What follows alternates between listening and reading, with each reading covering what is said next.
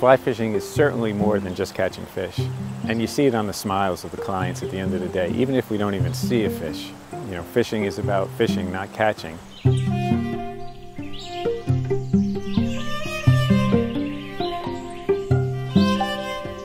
Someone once said that fly fishing is a craft, but catching fish is the art. And that's one of the things that I pride myself on, is being able to help people get to the next level. Hard stop to a hard stop. Try. Hard stop, there you go. There you go, look at the power that rod had.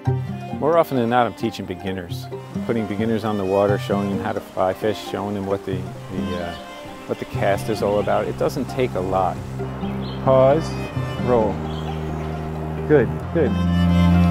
Sure, it's challenging to catch fish.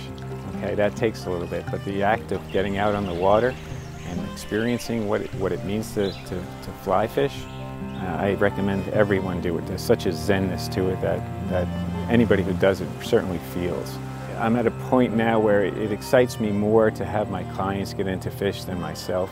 It gives me the opportunity to, to help right. spread the love that I have for the sport of fly fishing. Yeah!